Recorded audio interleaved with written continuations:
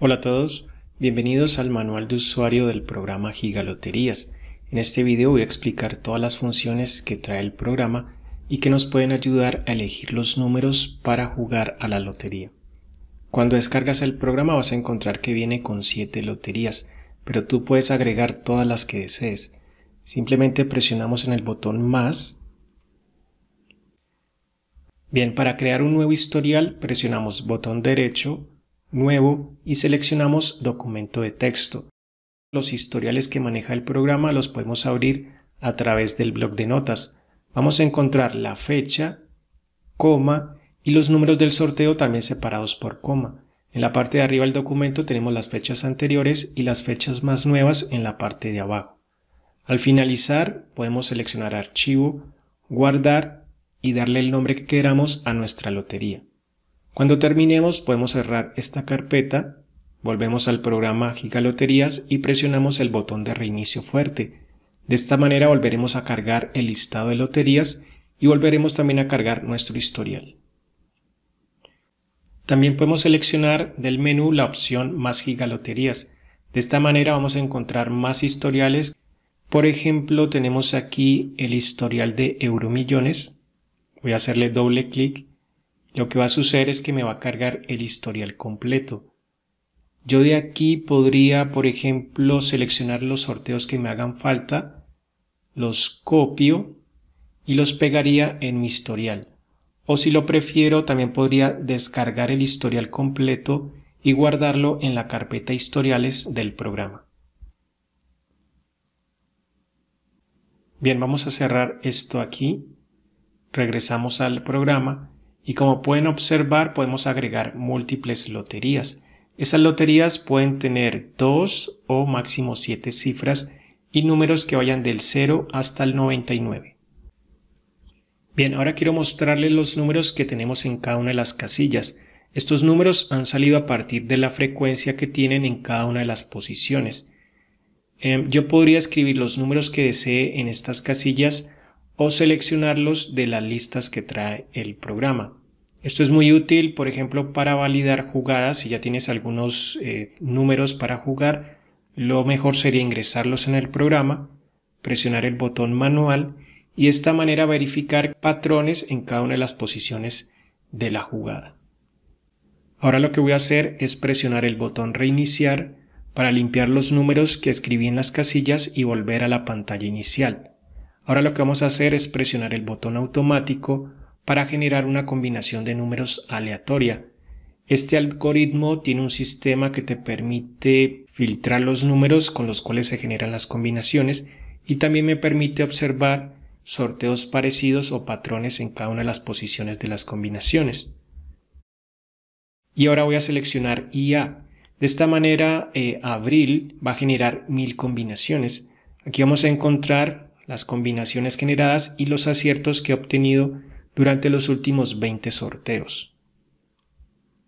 Si presionamos el botón M2, vamos a encontrar las mil combinaciones que van de la número 1 hasta la número 1000. Ahora vamos a seleccionar la función historial de aciertos. En esta función me está mostrando el programa en color rojo los números que pertenecen a las casillas B1, B2, B3, etc. Para generar este historial de aciertos, el programa tiene que ir 20 sorteos atrás y volver a calcular los números que tienen cada una de las casillas. Esto lo tiene que hacer ya que esas listas de números pueden cambiar dependiendo de los números que vayan apareciendo en cada uno de los sorteos. Es decir, que tenemos una frecuencia adaptativa en las listas que maneja el programa. Bien, vamos a volver a la pantalla inicial y ahora vamos a seleccionar la función de frecuencia. Observen que tenemos una lista de números que corresponde a la lista que tenemos en las casillas. En este caso tenemos B1 y en la casilla B1 también tenemos la misma lista de números. Esto se debe a que esta lista se generó a partir de la frecuencia, es decir, cuántas veces han salido estos números durante los últimos sorteos. En esta función también vamos a encontrar los colores rojo para los números con frecuencia alta, verde para frecuencia media y azul para los números con frecuencia baja.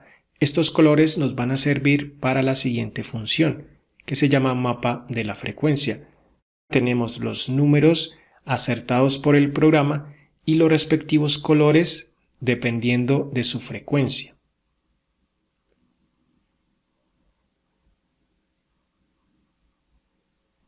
Con estos colores podremos presionar M2 y observar los patrones o los mapas que más están repitiendo sorteo tras sorteo. Por ejemplo, tenemos tendencias como en esta posición el color rojo o el color verde, es decir, frecuencia alta o frecuencia media. Bien, ahora vamos a pasar a la función ley del tercio. Esta técnica se utiliza en el juego de la ruleta. Como pueden observar, se trata de una frecuencia reducida ya que estamos analizando menos sorteos. Tenemos la misma lista de números que tenemos en las casillas. Miremos aquí en B2, tenemos la misma lista de números que tenemos en la casilla B2. Pero ahora vamos a tener en color rojo los números que han salido dos o más veces en color verde los números que han salido una sola vez y en color azul los números que no han aparecido. Para conocer mejor esta técnica les recomiendo ver los vídeos que ya están en el canal.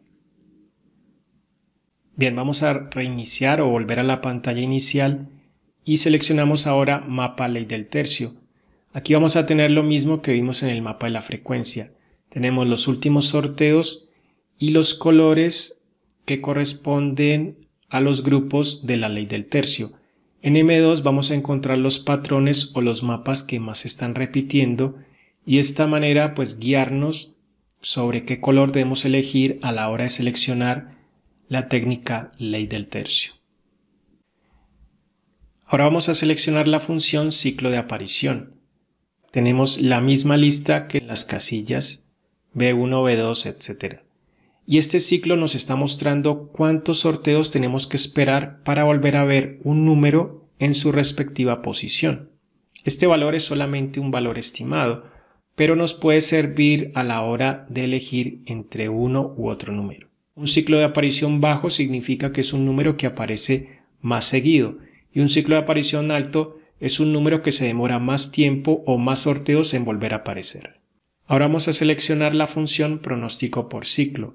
Aquí tenemos una lista de números con ciclo de aparición ya cumplido, es decir, que ya han pasado varios sorteos sin que esos números vuelvan a aparecer. Por lo tanto, o en teoría, deberían estar próximos por aparecer. Bien, volvamos entonces a nuestra pantalla inicial. Ahora seleccionamos números consecutivos. Como pueden observar, nos está mostrando en azul los números consecutivos presentes en los sorteos. Esta función nos permite identificar patrones dentro de la lotería. Por ejemplo, aquí no aparecen consecutivos, luego aparecen eh, varios sorteos con consecutivos, dejan de aparecer y vuelven a aparecer nuevamente. Entonces, por ejemplo, aquí no tenemos eh, consecutivos, comienzan a aparecer y tal vez sigan apareciendo. Ahora seleccionamos números repetidos. En esta función el programa nos está mostrando los números repetidos entre sorteos consecutivos con esta función podemos identificar el patrón presente en la lotería. En este caso podría ser buena idea seleccionar números del sorteo anterior. Ahora vamos a números pares impares. En esta función el programa nos está mostrando con colores cómo es el comportamiento de estos números en los últimos sorteos del historial. Mientras que en M2 vamos a encontrar los patrones o los mapas que más se están repitiendo durante los últimos sorteos. Gracias a este mapa podríamos decir que por ejemplo en B1, en B2 o tal vez en B5 es buena idea seleccionar un número par.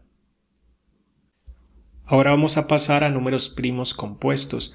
Esta función es muy parecida a pares impares y nos muestra el comportamiento de estos números durante los últimos sorteos del historial. En M2 vamos a encontrar los patrones o los mapas que más se están repitiendo durante los últimos sorteos. Ahora pasamos a patrón de jugadas. Esta función nos está mostrando cómo se forman las jugadas ganadoras que están en color azul oscuro, mientras que en azul claro están los números que hacen parte de esa jugada ganadora. También nos está mostrando que es posible ganar con un sorteo ya jugado. Por ejemplo, tenemos este sorteo y observen que seguimos ganando con los números que hacían parte de ese sorteo ganador. Por último tenemos la función patrón del último sorteo. Lo que hace aquí la computadora es leer el último sorteo, lo anota en las casillas y verifica si encuentra algún patrón o sorteo parecido. Bueno, como les decía al principio, con estas funciones y aplicando ciertas técnicas podremos reducir las listas de números que tenemos disponibles para armar nuestras jugadas. Para terminar, recuerden hacer clic en el link de ayuda para acceder a todos los videotutoriales donde se explica más detalladamente ciertas funciones y también se enseñan técnicas para jugar a la lotería. Bueno, eso ha sido todo, espero les haya gustado este video. Recuerden suscribirse al canal, darle me gusta al video, compartirlo. Nos vemos en una próxima oportunidad. Chao.